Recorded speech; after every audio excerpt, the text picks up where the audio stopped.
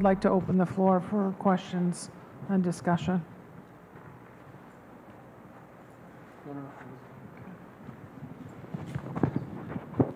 Thank you. Thank you very much. Um, I can't help looking at that and thinking what the world is missing in terms of art, culture, medicine because of this destruction. Um, so I have two questions. The first is around brain drain. I'm a nurse in the United States, and I'm on the receiving end of what I would call brain waste because uh, physicians, nurses come here and they are not allowed to work as physicians or nurses, and yet they've left these places of great need. I'm in the place of teaching them here. How do you encourage people to stay in such difficult circumstances. And the second is comes to the action part of the colloquium, which is what would you say is the immediate need that you would want us to uh, communicate to parishes, and what is the sustainable plan? So, two questions. Uh, thank you for your question. About medicine, I didn't like to to mention my personal uh, voluntary work. Uh, I've been for eight months at the Jordanian-Syrian borders in the Ramtha area, accepting from the front line uh, trauma patients. Some of them have been operated in a field uh, hospitals inside Syria and coming for a complementary treatment. Uh, because as you know, for example, a vascular injury, they don't have the capacity to do it. They just clamp the main artery and send it to us. Uh, so, by, in my opinion, by being with those people, regardless about the position, myself as a consultant, it's rarely to find consultant to go and to volunteer. Usually you can find small uh, doctors, newly graduated, uh, to gain experience first and then to help. Uh, by sitting, speaking with those people, by doing a special department between the team for psychosocial issues, uh, by trying to bring somebody. For example, we had a patient, a female patient, both amputated lower limbs, eight years old, and she was alone not a mom, not an aunt, nobody. With this girl, how you can, how she can take you into confidence and speak with you. It was really difficult, but at the end, people has nothing to do except of that. They have to move because of their trauma situation. Now, some of them have removed because of their children and went to the camps. Now, the Zaatari camp, which was referred in the morning, it's about 700,000 Syrians in it. And uh, the situation, yes, much better than before, but it is disaster, especially in winter. There is no sewage. You have to wait for the toilets for a long period of time. They've changed the tents to a prefabricated, a small, uh, uh, it is not even a van. Uh, so it's very difficult. Now, I have a, a, a lot of uh, points on those who are coming from outside. And this is what I mentioned before. It's very good to have volunteers from outside, but it's very bad to have employed people from outside, even with less experience and with less expertise than the locals, and to consider them as expatriates. And because they are expatriates, they are much cleverer than you. This is an issue which is affecting the whole humanitarianism, a knife in the back. Let me give you, since you are a nurse, and sorry for taking time of my colleagues, an example. I am a consultant. When I write an order in a chart of a patient, it is my responsibility that I wrote that order. I can't accept any practitioner or internship or staff nurse or, or program coordinator to come and to change my order. Because they have done all protocol, for example, for painkillers, which I am not using.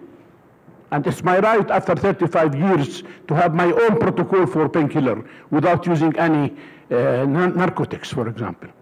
To come and to change it because they believe that patient must not suffer, but at the end you will throw him into addiction. I can't accept a program coordinator, which is not even a staff nurse, to change my orders with the title of expatriate. And she's taking salary 10 times as much as the locals. So the budget or the pledges which they are giving, they are giving for themselves. And they are not giving to help people. You can find to help people, except of doing 10 operations, you can do 100 operations with the same budget if it was well managed.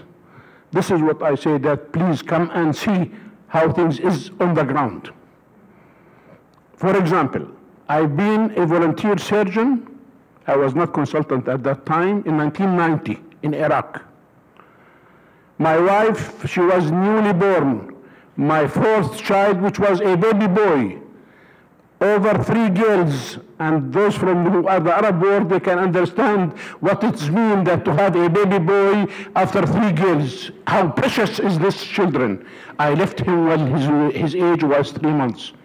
Because my church and my, my late father have learned me what is humanitarianism and what is volunteer, regardless what I will suffer.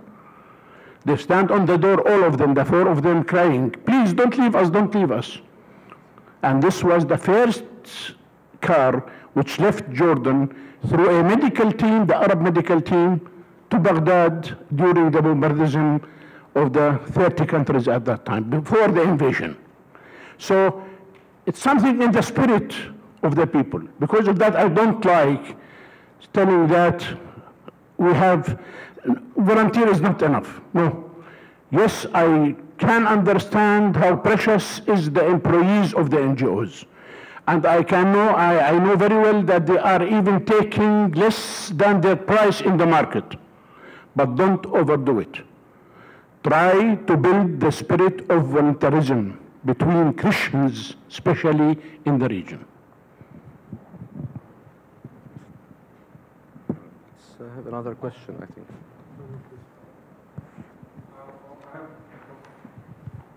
I have a couple of questions as well. Um, one is more of a, maybe of a side note, kind of a personal interest of mine. I noticed the graffiti in the video that we saw at the end. Um, I was just wondering how that, where that, the source of the graffiti, what is it and what, what does it mean? When did it come about? Um, also, I'd like to ask as a second question, uh, for those that are not familiar with the IOCC, um, who constitutes the IOCC? Like, is, which jurisdictions, who supports it, who does the work for IOCC? The first question I can't, I didn't hear. The second question, Samir Karab can answer it. Um, well, the, Ah, the graffiti on the walls, okay. Uh, some, some of them, for example, uh, it's a very nice question because we didn't take pictures for everybody. Because everything had been destroyed. Everyone put his name where his house was. So when, when all this will go, they know which land was theirs. Some of those are the, the names. Others, for example, the one of the tablet, it was the mosque which was destroyed. And they are telling that this is here the mosque of the, of the martyrs, the name of the mosque before destroying. Uh, some of them was uh, victory. Uh, some of them was against the uh, Israeli invasion. Uh, some of them was political nature. And the picture which you saw was a picture of a martyr before the war. Okay, your question about IOCC, please, can you repeat it, please? um, essentially, I just wanted, for those that are not familiar with IOCC, I just want to know um, basically who constitutes IOCC, who supports it, where do the funds come from, um, who does the work for IOCC? Maybe this question should be addressed to the IOCC staff. We have some IOCC staff here, yes. Um, sorry. Uh, IOCC is a is an organization uh, based in the United States. It's founded in 1992 by what was then the Standing Conference of Canonical Orthodox Bishops in the Americas, what today we call the Assembly of canonical Orthodox bishops in the United States of America, I think. Uh, and uh, therefore, it uh, constitutes every uh, Orthodox jurisdiction uh, at the highest levels, uh, all the way down to each individual parish throughout the United States. And our supporters, of course, include people from outside of the United States. And our partners uh, include uh, faith-based, non-faith-based uh, organizations all across the world.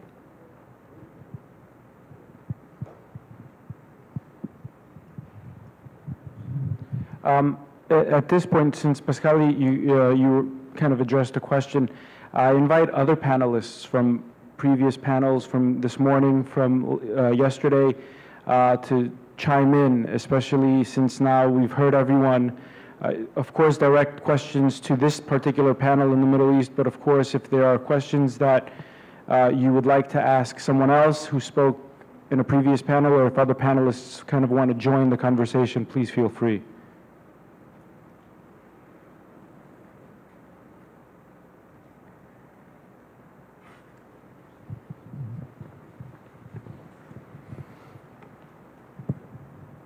This is for uh, Dr. Lah- Laham. Your doctor? I'm not, I'm not a That's okay. We- We'll all be doctors. And it's his birthday. He's a Bush, Bush, Mo- Bush doc. You're either, and in the Middle East, you're either a doctor or a muhandis. So you're one of the, but you should be a mudir. Um, my question for you is, could you share the challenges that you face? I was in Syria many years ago. The challenges that you face still living in Damascus in terms of how you can how you function with the, the current uh, government of uh, the Assad regime. How- Does it affect how does it affect your organization? We as, as, uh, as a church or, or what? What do you mean how we, do? I mean, uh, we as, as an organization or what? First, I don't want to use the regime because, uh, you see, uh, this is, yes, yes this is uh, the government, yes. Um, uh, I mean, I mean uh, the. Uh, uh, I, I want to, to refer to, to the concept now in the Arab world that uh, revolution means to change the governments or to, to change systems, without having, let's say, the advocate, for example, basis uh, or understanding what does it mean revolution in terms of, let's say, uh, democratical changes or understanding the democratic terminology. So uh, unfortunately, in the Arab world, this is, let's say, my, my own understanding and reading, that revolution or political revolution or po- political changes means that we have to change system and regimes without having substitute, for example, systems that can really keep the stability and uh, a very peaceful transfer of responsibilities or administration and everything. And if you want to change anything very, very radically, so the result would be catastrophic. And I think we have a lot of uh, historical, uh, let's say, examples, not only in the Arab world, but all over the world, that if you want to change anything very, very quickly, so I think the outcome would be disastrous uh, at all levels. Syria is still functioning, for example, especially in the area, in the places where still under the control of the government. So life continues. In spite of all daily challenges, in spite of all, let's say, the shelling of mortars, missiles sometimes, and hearing bombings, bombs all the time. And, uh, uh, but life, li- li- life continues. Many people who cannot uh, really sustain their living, so they left already. And uh, we heard a question about, let's say, the drains of the, let's say, uh, of brains. Already Syria lost a lot of doctors, engineers, uh, uh, capitals, businessmen. So we are suffering a lot of not having enough doctors nowadays in all, even public and private hospitals. And, um, but, but people also who uh, have the capacity or the possibility to move, they have already moved and there are uh, and those who really had to leave and really live as refugees and i was talking about maybe a huge number of refugees in neighboring countries so many of them are and the majority are living, let's say, in tents or in places or in shelters. Lebanon, Egypt, uh, Lebanon, even in Egypt, they are not living in shelters, but there are a lot of Syrians here, and they are suffering a lot. But now, Jordan and Turkey and in Lebanon, so hundreds of thousands living in tents and really suffering a lot. But, but the ones who, who cannot move uh, still living and uh, because they don't have any other choices. And there are a lot of people who have the capacity and the possibility to move and they have a lot of money, but they insisted to stay. They insisted to stay because they believe in the country, because they do believe that they, are, they have a role to play. And uh, also, uh, I can assure you that, uh, of course, uh, all of us, we have a lot of criticism and we, we have a lot of, let's say, our own opinions concerning the performance of the government over the last, over the recent years in terms of, let's say, corruption, in terms of a lot of things, okay? But at least, for example, and I want to be, I'm, I'm completely neutral and uh, in, in, in saying this, in Syria, before the crisis, the, the far remote village in Syria, even let's say in East Syria or in South Syria, all people were enjoying having electricity, water, and also uh, to have access to public education free of charge in schools or in universities. And all people were able to enjoy having their income really and to uh, uh, ensure uh, their daily bread. And all of a sudden, of course, due of the, the, the, the place become like a, a, an arena for, for, for all possible, for example, groups who come from outside in order to liberate Syria or maybe to really to, to, uh, uh, uh, to uh, they came for jihad, you see. So uh, I mean, I mean, I mean, the, the situation completely become uh, in a different, for example, shape. And this is why now most of the Syrians, including the ones who were criticizing the government, and they were against the government at the very beginning, who were against the government, and really who played a role in really, for example, uh, uh, um, uh, either, for example, to, to join some groups. Um, I'm not criticizing here. I think the mistakes come from from all parts. Uh, uh, so uh, now they say, okay, we uh, we we hope that really to to retain what we lost, let's say, before the crisis. So now there are a lot of, let's say, even Muslims, Christians, who uh, uh, become believing that the uh, the uh, Arab Spring was really like a big slogan, and uh, uh, knowing what's happening in the neighboring Arab worlds, because unfortunately the media do not reflect what's going on in Libya or in elsewhere. Only it, focuses on some places where they, by intention, they want to show, let's say, what is what are the purposes behind, for example, concentrating sometimes on Syria or sometimes on Yemen or sometimes on Egypt. So now many people who were criticizing the system and really who were really contributed, for example, to hold arms now, they become aware that they lost everything without any results. And nothing changed, unfortunately. Nothing changed. So we are continuing our life. And I think it is really a costly, costly for example, price we pay.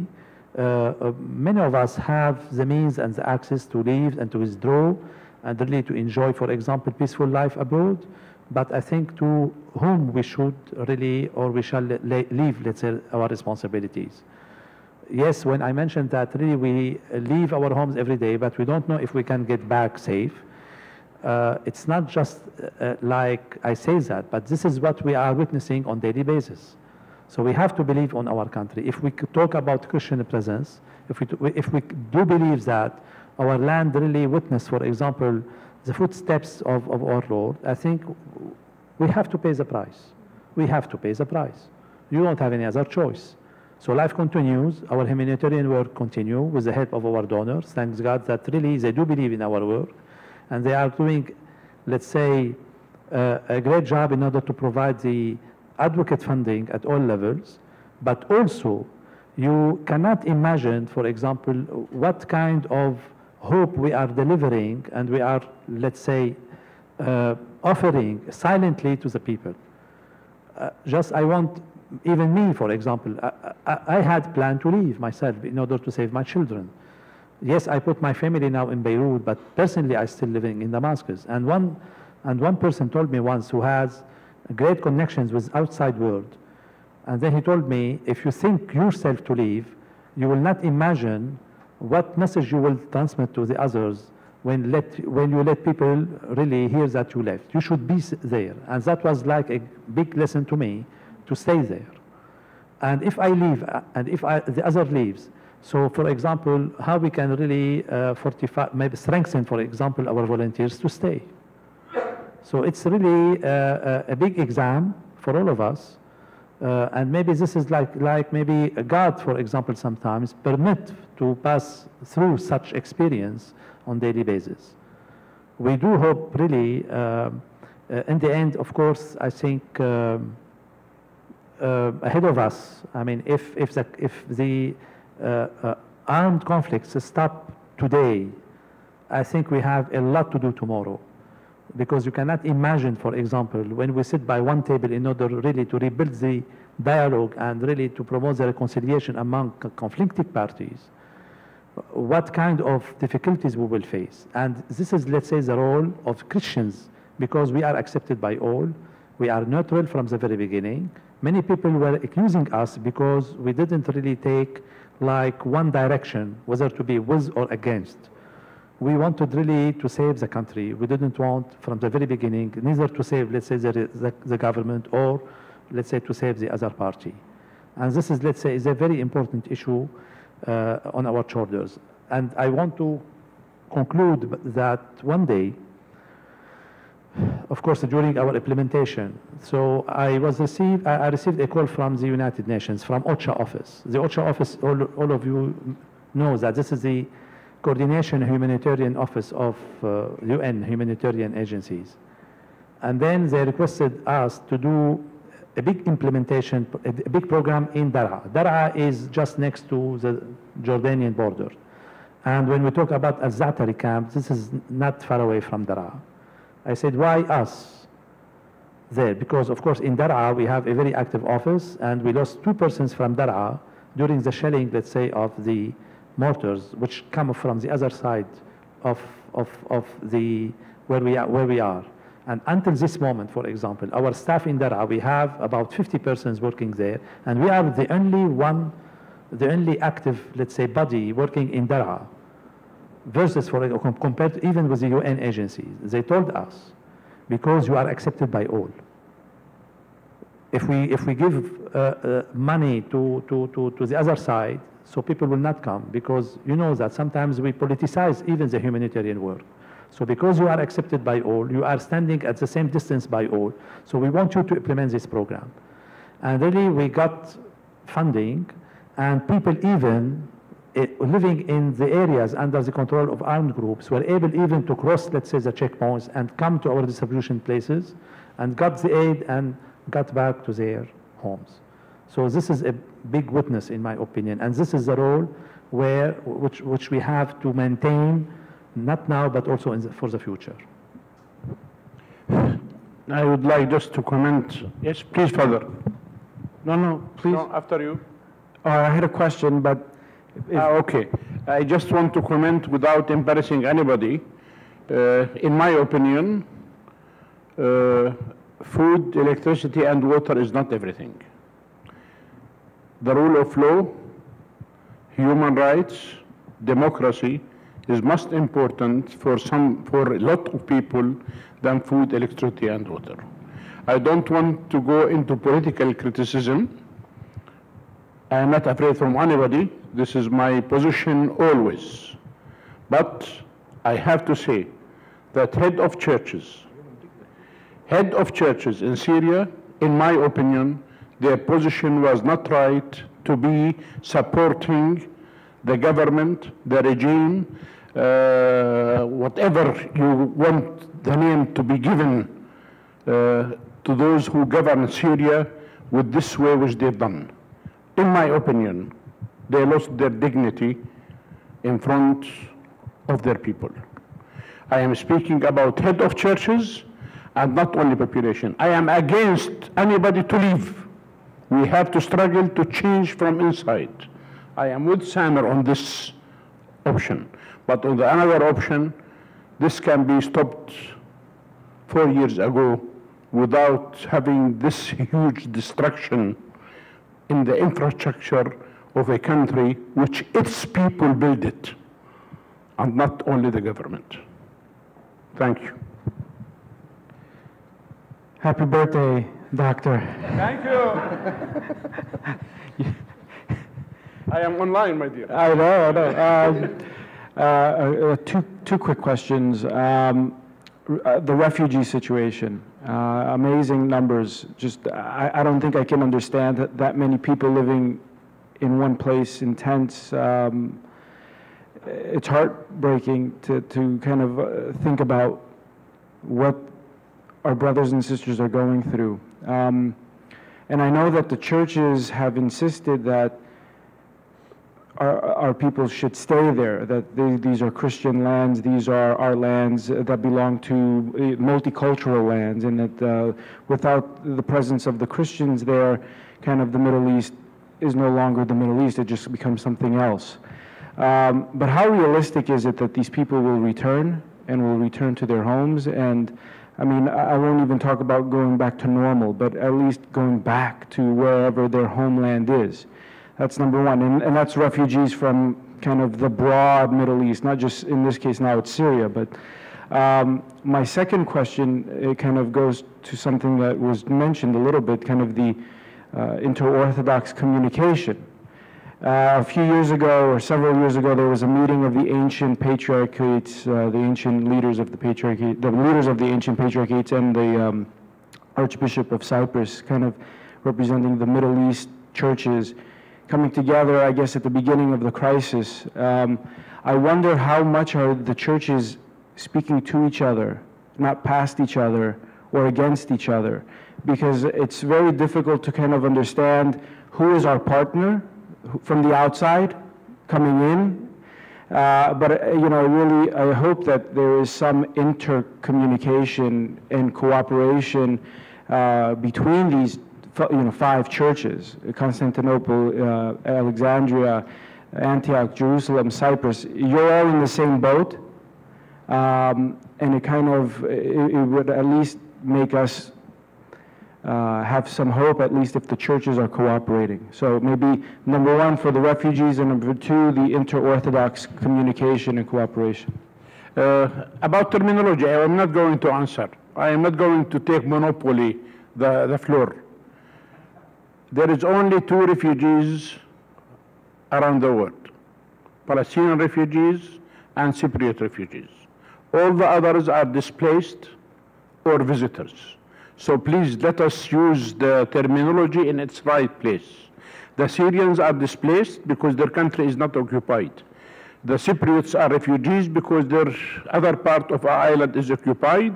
Palestinians are refugees because their country is occupied. So there is a completely different between displaced, visitor, or stateless, or so on.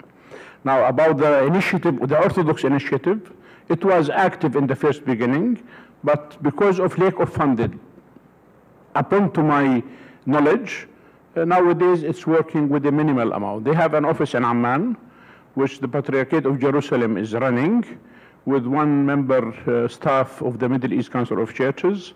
Uh, they visited, uh, and he was the only church leader, the first, not the only, the first church leader, Patriarch Theophilus, to visit the Zaatari camp. Uh, but after that, uh, I think that everything dropped down because usually when the crisis started, everybody jump from the chairs. Then they sleep comfortably for another crisis to come up. Probably very quickly on the first question of displaced people. I mean, uh, I said probably we have to keep, to hold on hope where there's no hope. I mean, it's very difficult for those who left Mosul area and the Ninawa Valley, for instance, the Christians who have been pushed out of the, their own land, ancestral land.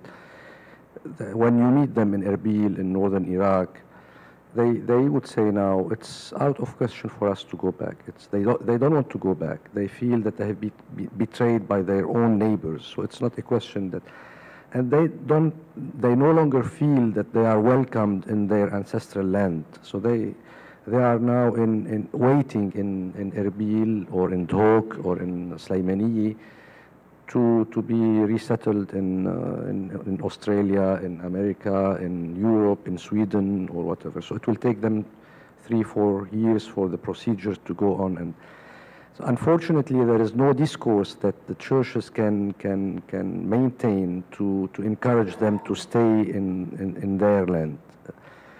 Now, having said this, it is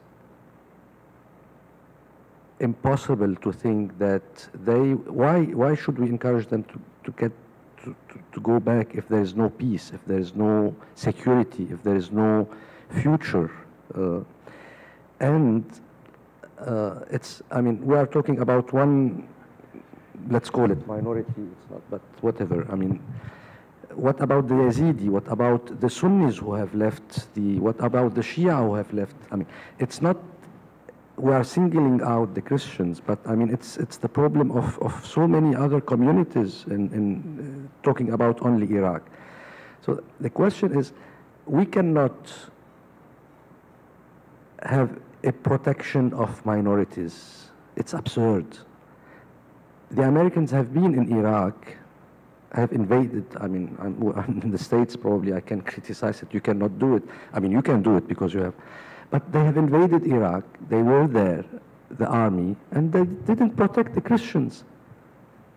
Are we expecting now Putin to come with his soldiers to protect us in the region?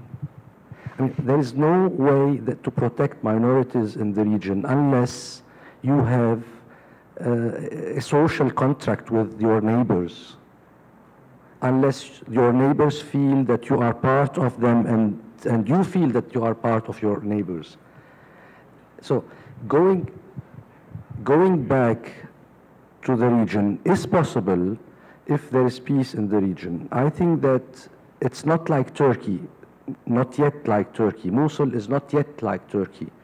The rights of the Christians to their land is there. The rights of other communities to their homes and lands is there.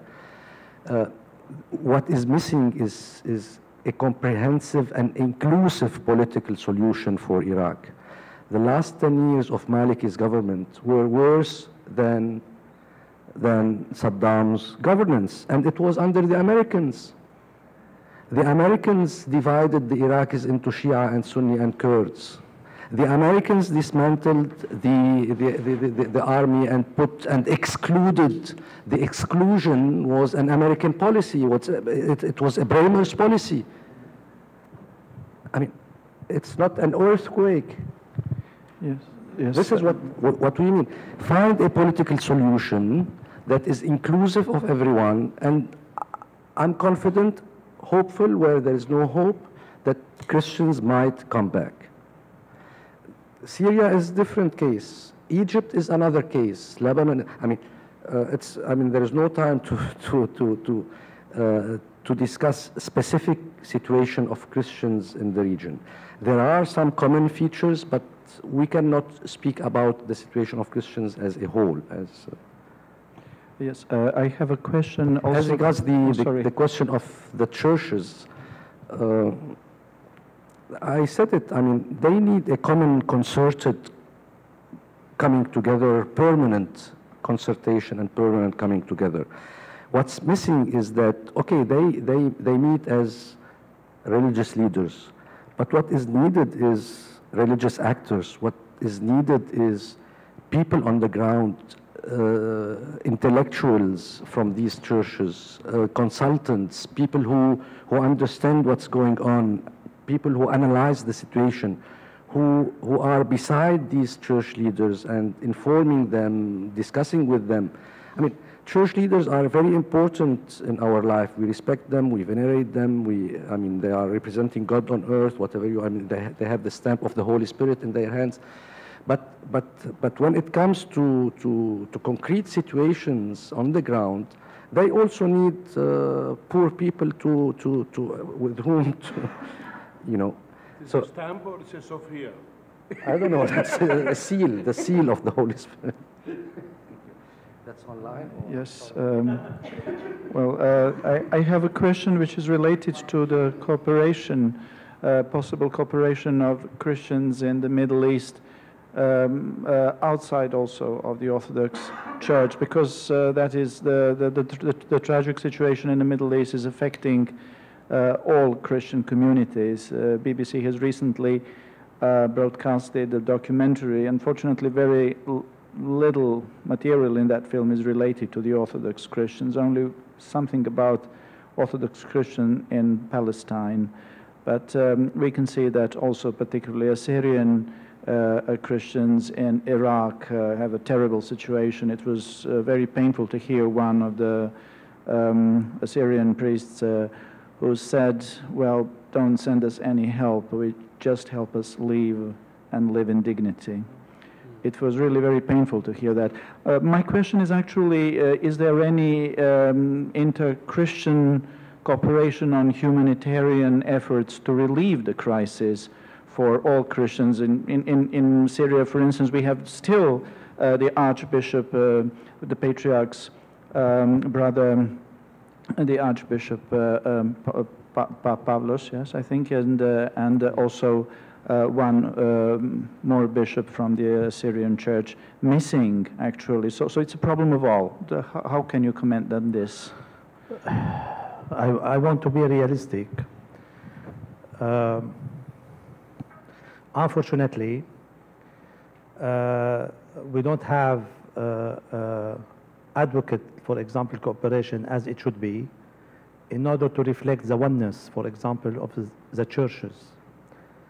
The uh, conflict uh, uh, sometimes either, for example, to unify people and to bring them together or to divide them. I mean, all, uh, of course, uh, none, even single church or single organization or church-related organization can really meet the needs of the people. And uh, all churches are called really to try to meet the needs of their congregation and their communities. But what happened that uh, really uh, some churches uh, really provided aid only to their community members and not to everybody. Why, for example, I'm not defending the Orthodox here, but this is a reality. Why, for example, through the aid we are receiving from our donors, whether it be in kind or in cash, in order to buy uh, stuff from the local market, we are distributing everything to everybody. Uh, the percentage of non-Christians is about 75%, and the Christians 25%. And this is normal because you know the number of the affected or IDPs numbers of the Muslims are much more than the Christians. But among the Christians, we are distributing our aid to all denominations. We never ask anyone about, let's say, whether you are a Catholic or Orthodox or Protestant. Why, for example, the other churches brought money only for their communities. And this has really created a lot of internal challenge and pro- problems to our church because you cannot imagine that two neighbors living in one building and then a box of food come from a church and the other one shared the, food, the, book, the, bo- the box of food between him and his neighbor. So, and also a matter of competition uh, because each church wants to have like a special agency or humanitarian agency within the church and to attract, let's say, to get money from, from the donors.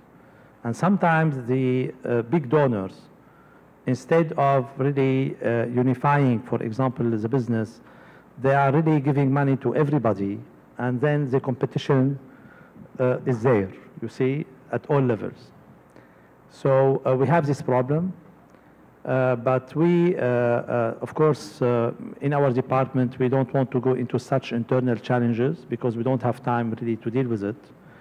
We keep, for example, even it is a challenge that we are receiving from our bishops from, from all areas. By saying that, uh, uh, we have, you have to have also a special funding for the Orthodox. And all the time we say we are completely neutral and we are following, let's say, the teaching of Jesus Christ. And not all our bishops, not all of our bishops, for example, are convinced with this all the time because, of course, they are receiving a lot of challenges from the communities. And this is why, uh, at, at, at the national level, we are very much respected and appreciated, but in, on, on many, for example, situations, we are receiving a lot of criticism from our church, from our archdiocese in different places. So uh, we tried through the Middle East Council of Churches to consolidate a little bit, for example, the work and really by bringing churches together.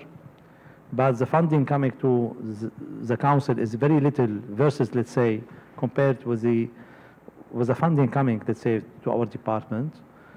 But uh, but this is it. This is a reality, and uh, we have to face it in a way or another.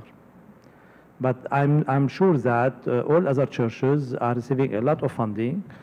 Uh, of course, the Catholic Church uh, really uh, is receiving a significant funding from CRS and from Caritas. Of course, some some offices are helping everybody, not only the, the, the Catholic, but everybody. The Protestants are receiving also a lot of uh, funding from uh, their own sources, from here or from elsewhere. Uh, of course, the priority for them is to provide aid to the Protestants because they are few, very, very few in number, very tiny minority. You can count how many, how many families you have. But also, in order to show that, uh, to show the ecumenical aspect of the aid, so the, they are distributing aids to the others also at the same time. But yet, we don't have like one agenda among all churches, even at the level of the humanitarian aid. Uh, Father, without going into the theological differences, but I have to mention that the Assyrians, even during the regime of Saddam, one million of them have uh, uh, left the country to European countries. So it was since the first beginning, and due to their unacceptance from the other Christians in the region, they had this program of uh, metastasis, um, refugee to other countries. So it's not because of the uh, today's situation. This is coming up now.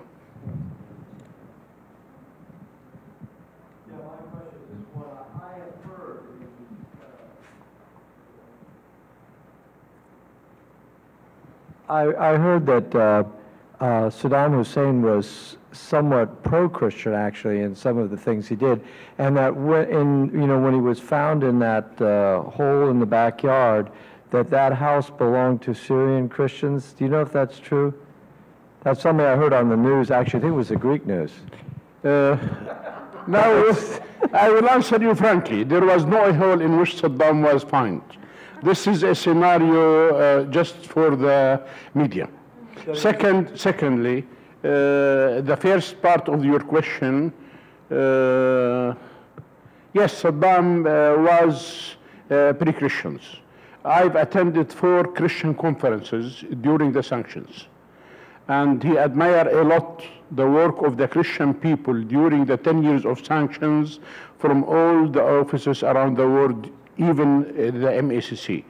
His foreign minister, which is still in prison until now, and uh, unfortunately, uh, the United States of America did not help his situation. He was a friend of the Pope, and his Tariq Aziz is a Christian. Uh, so uh, Saddam Hussein was able, in his way of dictatorship, how to hold all uh, religious parties uh, on equal basis without having democracy and with corruption and with, with, with, with this.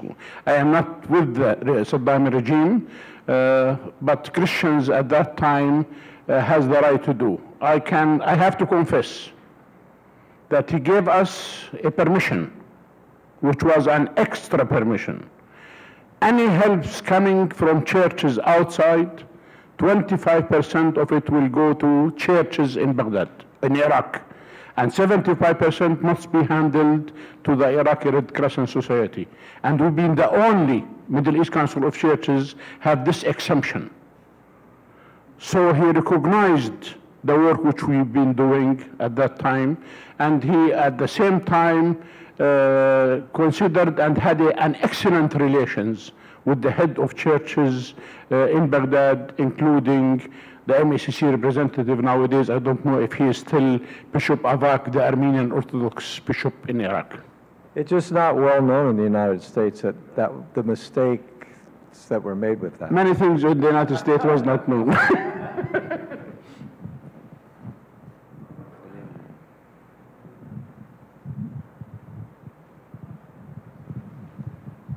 I don't want to end this conversation, but I see that the hour is uh, fastly approaching to the end, and I wanted to hear from any of the panelists. Um, well, first of all, to thank all of them. Uh, I, like a few others, have been the recipients of the wisdom and the experience uh, of those of you who have been involved in this um, noble work that you have undertaken.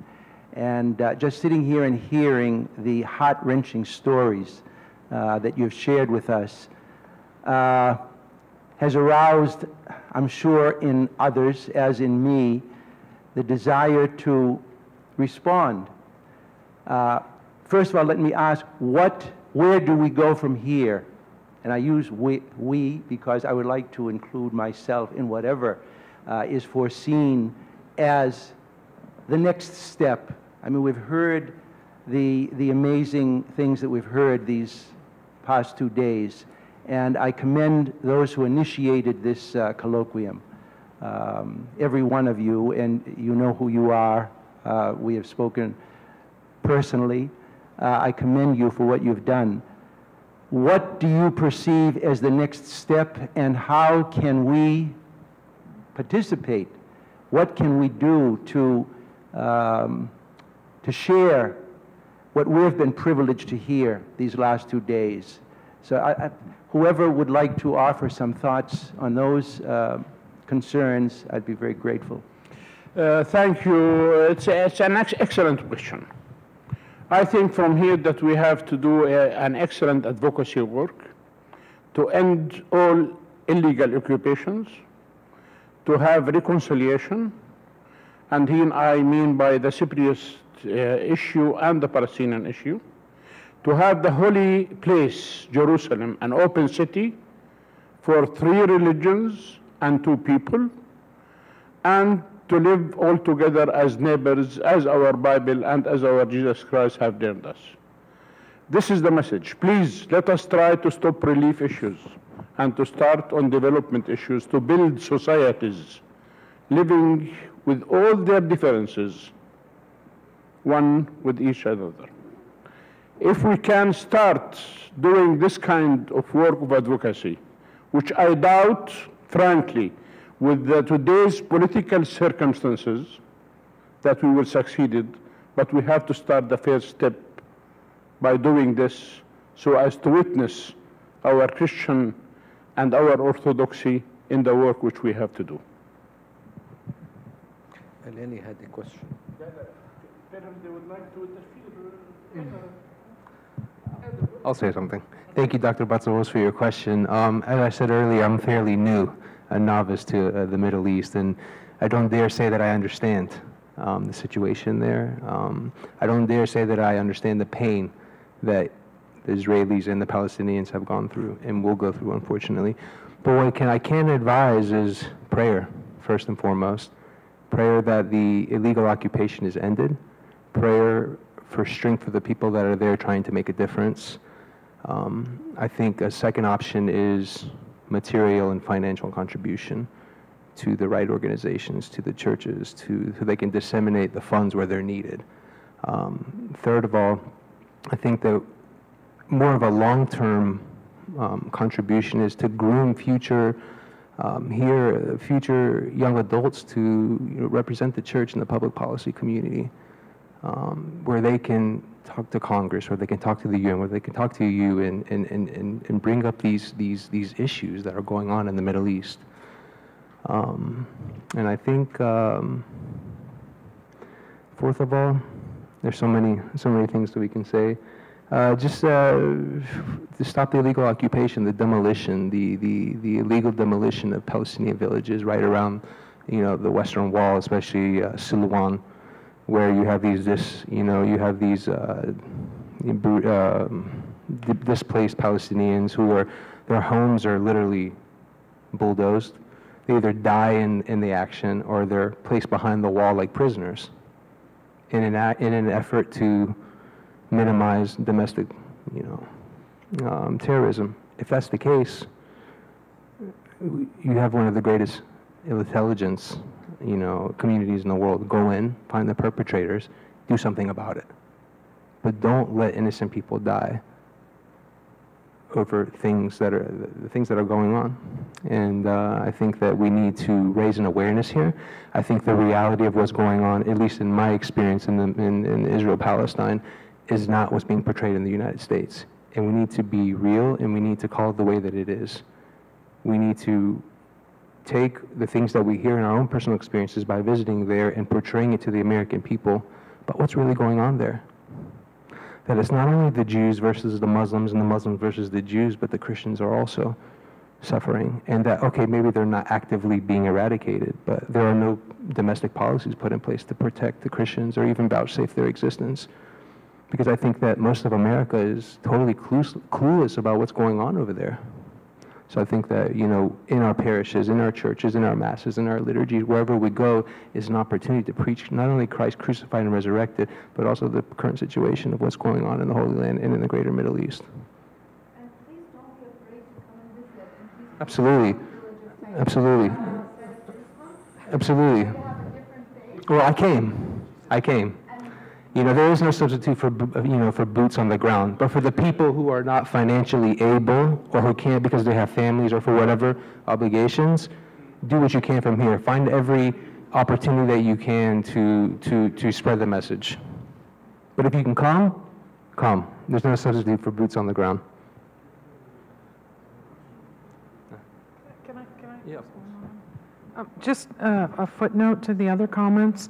And circling back to where we started yesterday, um, I, I, was struck by Dr. Aude's, um, Dr. Kallas's uh, comment that um, little support is coming from Orthodox churches abro from abroad to the region, in particular to, well, to the region. And I, I, I take that as a challenge to all of us. Um, I think it's quite shocking, the apathy and willingness to look away in the face of what is going on, not only in the region. The region, I think, uh, there's a specificity to what's happening in the region because this is the place of the three Abrahamic traditions, one of which is literally being erased as we all sit here in our comfortable space. And I, uh, but I think that what we're seeing in the region is emblematic of what's happening in so many other parts of the world and here in the United States, in many cases, let's make no mistake, those problems are not only out there. The problems that we're talking about, which are problems of human dignity and human suffering and human thriving, are happening all around us.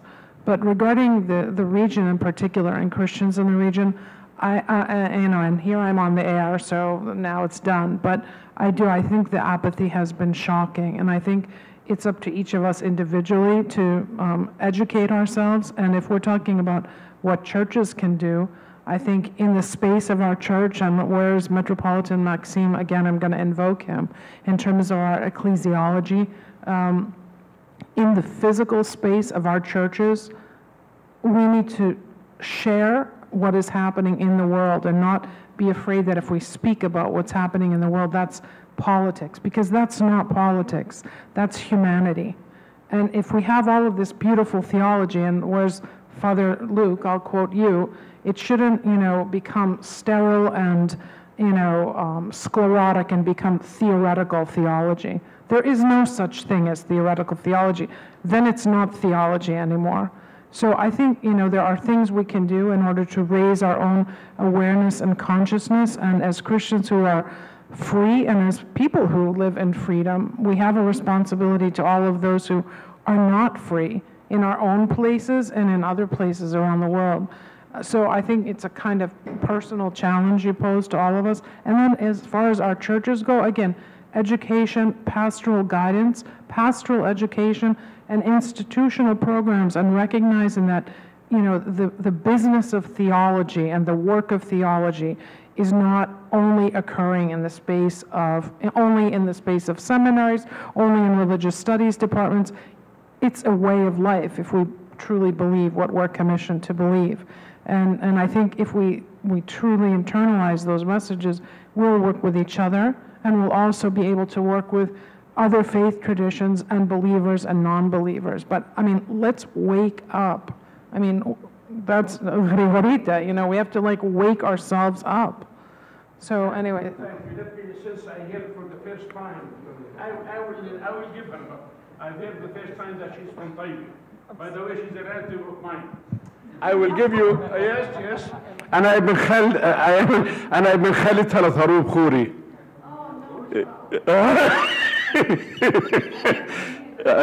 عرفتك هلا عرفتك هلا عرفتك since she's from Taiba our our patriarchate have a school in Taiba. The patriarch his period have forget have forbidden to go to the court for any student who is not paying tuition.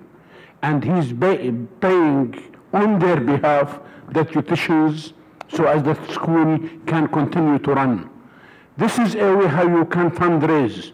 You can adopt one children in an Orthodox school. That means that you are helping the patriarchate to spend the money which is paying for the teachers for another purpose. I, I, I brought the example of Taiba school because I know its condition and I know that the patriarchate is paying more than $100,000 per year to support that school because the unemployment of the families can't give them the, uh, the way to pay the tuitions which they have to pay. Thank you. And, and my personal work in following the gospel and loving my neighbor is because my children are graduated. The Taiba Education Fund actually supports 15 students in the Taiba uh, Orthodox School. So if anyone's interested, please uh, pick up a card, have your church connect them. Hello. So thank you. One final question. Uh, okay, thank you. Uh, Thank you very much for your presentations. Uh, I have only one question to Michelle, but before that, yeah. It, it, and I think it's a difficult one. Michelle, sorry. Um,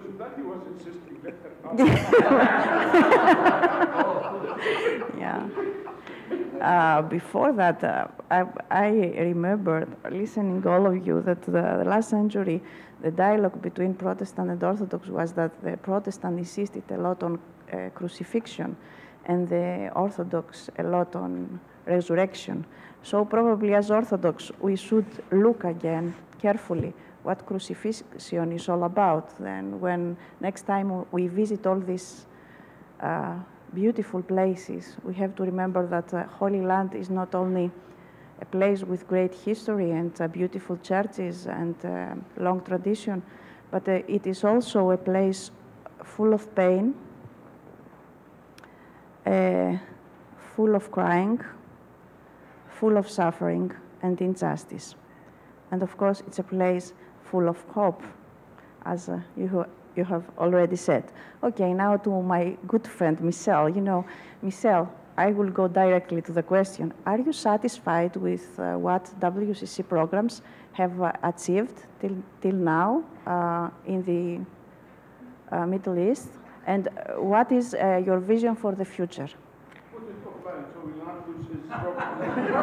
no, no, no, no. No, no, I will respond very, very frankly and very openly. I'm not afraid of anything, neither of government nor... Or no, I think that if the WCC began earlier to be interested in the question, in the Holy Land, when they first launched the program to combat racism, the, uh, that was that was, I don't know why it was decided it's only focusing on South Africa and, and apartheid and not on, on all kinds of liberation all over the world. I think that we would have been elsewhere now uh, in, in, in building awareness in our member churches about the Israel-Palestine conflict.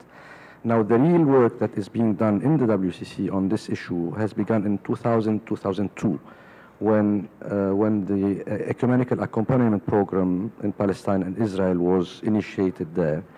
And uh, so for the last uh, 12 years, let's say now, uh, the, the, this program has, uh, has um, had an, an, important impact in, in, in different member churches, especially in the north, where we have accompaniers living there for three months within, among the communities, the different communities, uh, witnessing what's happening, accompanying people, uh, uh, vulnerable people to, to their uh, land, to their schools. uh, and what is more important is that there is, the, of course, the transformative experience of the person, that the person comes back to his or her you know, constituency transformed, but they do also advocacy in their churches. And I think that that was an important program, uh, and I mean, uh, Audi can say a lot about it.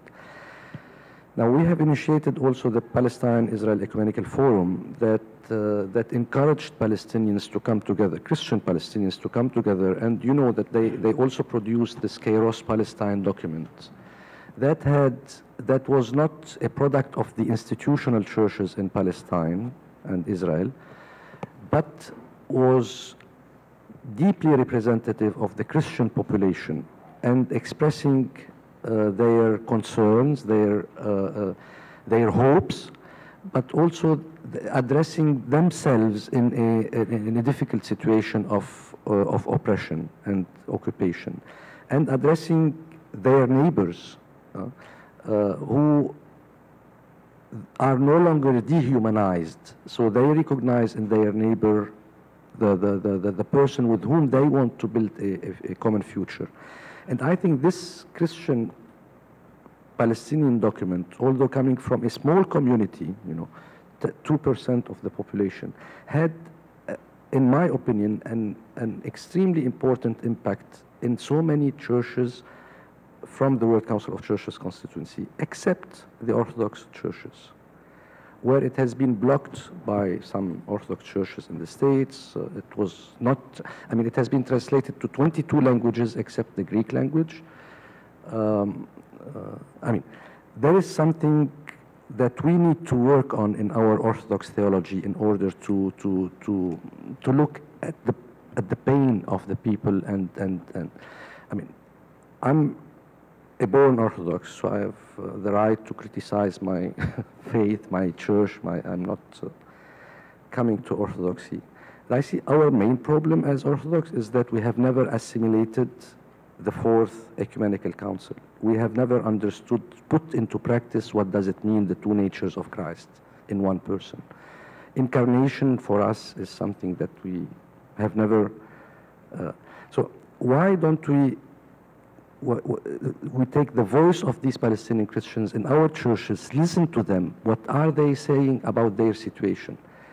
It worked with so many other churches, with the Norwegians, the Dutch, the, the groups of, of Christians in parishes have been constituted to support these Christians. They are visiting them, living with them. We Orthodox, when we go, the, hundreds of thousands of Russians are coming every week to, to, to Jerusalem. How many? Who goes and visit a family in, in Bethlehem? Who, who, who stays one night in Bethlehem? Who knows that there are Christians in, still in Bethlehem? I'm talking about the Orthodox, the Russians. The Greeks, when they go to, to I mean, it's probably a little bit different, but still the same. There is a lot to be done in our Orthodox constituency when it comes to solidarity with the Christians in the Middle East. We have to stop saying that they are persecuted. Probably we are persecuted, but let us say that we are persecuted. Don't, don't speak on our behalf. And if you are not able to protect us, come and visit us, come and accompany us, come and be in solidarity with us in our pain. That's, the, that's what, what is missing in our, and I think the WCC is doing what, uh, you know, uh, what we can do, but WCC is like, is like IOCC. WCC is you, is not me working in Geneva or visiting the region or talking about with the, with the churches in our region. WCC is IOCC. It's it's it's constituency. It's members. It's church, member churches. This is where we need the transformation, the building awareness among our members, and this is to be done. It's to be done. I mean, everything is there. If you want to look to the reality, it's there. It's if you want to look to uh, witness stories coming from the from the area from the region, it's there. So, but the effort is not there. Uh, but it's, there is also a lot to be done by the WCC that it will take too much time to talk about it.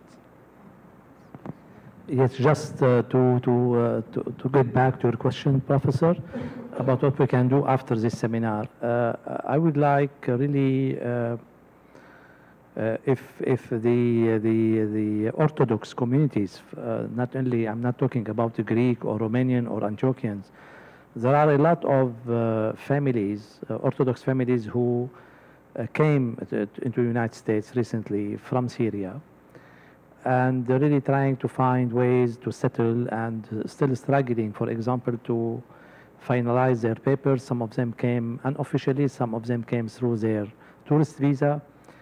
And really, uh, people who really who were enjoyed a good life in, in, in the country, uh, good income, and here they are living here as strangers and really accepting any kind of job in order to cope with the uh, difficult, for example, uh, life conditions uh, I don't know to what extent really if we can really uh, offer support uh, because really they are in great need, at least for example to understand the system, to find jobs with some people who have their own business, for example, to until really they become part of the society and be, being able to continue their life because they don't have any plan to get back very soon. This is one. Secondly, uh, many young people, potential people, very clever and well educated, because of the military service, they had to leave the country.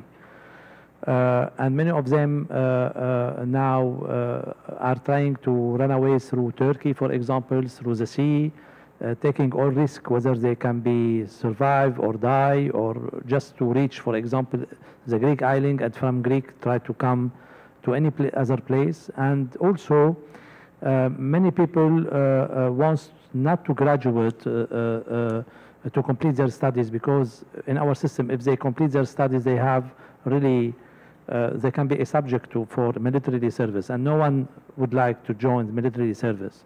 I don't know to what extent really we can really work together to prov to provide scholarships, and really to provide like uh, acceptance in different, in, in different uh, universities, providing scholarship and to enable people to come officially here to continue their studies.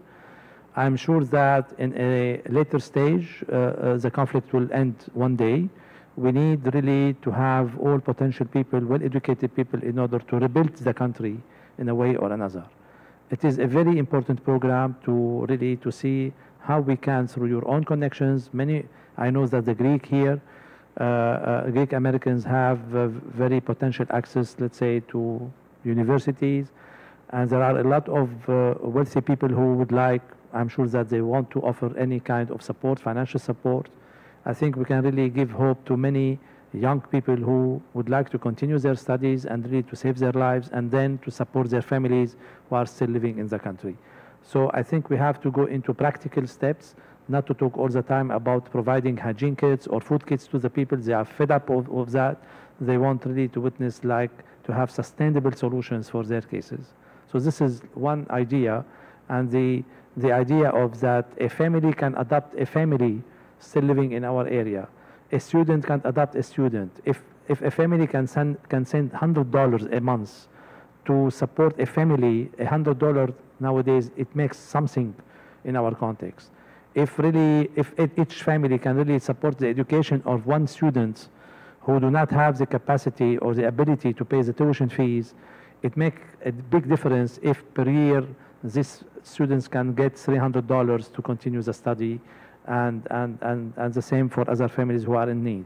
If a family can support, for example, a patient who needs a lot of money, especially the cancer cases are increasing in the country, due of the conflict. So I think we can make a big difference. And this is, let's say, the true sign of solidarity, not just to talk about good issues, about, let's say, what we have, let's say, in our Bible. We have to go into practical steps. And $100, for example, for a family per month may, may, may, may not create any burden on, on any family here. But we need really to structure that program and really to organize it in a way to make it, let's say, efficient, and goes directly, let's say, to the point. And I think we, and I, with IOCC, we can really do a great deal, not depending on only funding coming from here and there just to buy kits and to buy, for example, food or something like this. To have a sustainable programs, because, because if we lose the education, if we lose, let's say, and, and Christians all the time, in our context, used to be the elite of the society, not in terms of money, but in terms of education. And in, if we have educated people, then we can guarantee, for example, a healthy uh, uh, uh, society in the future. Thank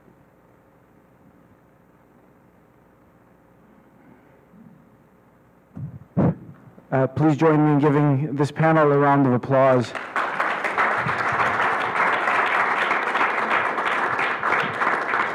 Doc, doctor, did you have a question? Did you have a final question? Because it's your birthday and we... Okay. The organization for those who've uh, asked us to come, for those who volunteered to pay for our expenses, so as to open the opportunity for us to speak on behalf of our people and on behalf of our churches. We are not trying to big, but we are trying to put realities on the table so you can understand, and I am uh, sure that you have the, uh, more than the enough wisdom to judge what is the right action which you have to take. Thank you. Thank you. And I want to thank everyone who helped uh, make this conference, a colloquium, uh, possible. Um, you really helped carry the brunt of it. Um, I want to thank, of course, the speakers. It was because of you that you took time out to come from Africa, from Serbia, from you know, Geneva and beyond, uh, Syria, Jordan, New York. Um, and Boston even. The traffic from, uh, you know, Boston traffic is tough. Uh, you know, it's because you are committed to this kind of work that this colloquium, I think, is successful. I, um, just want to close with a reflection from the video that Samer showed us. Um, it's, it was very, very moving. Um, kind of to think that if, um, if I'm not homeless, how can I help someone who's homeless if I, if I am not sick? Um, how can I help someone who's sick if I'm not um, poor? How can I, if I'm not hungry, how can I feed someone who's hungry? Um, it's, it's very, very humbling. Um, the only thing that I can say is that uh, I think we are all broken. We're all hungry and we're all homeless uh, because we are still searching um, for, for God in our lives. And um, I guess maybe that's the solidarity that we can show our people um, in the United States who are um, suffering, but across the world. Uh, I thank you for sharing that, and we will make sure to get that to everyone. Um, thank you very much. Christ is risen.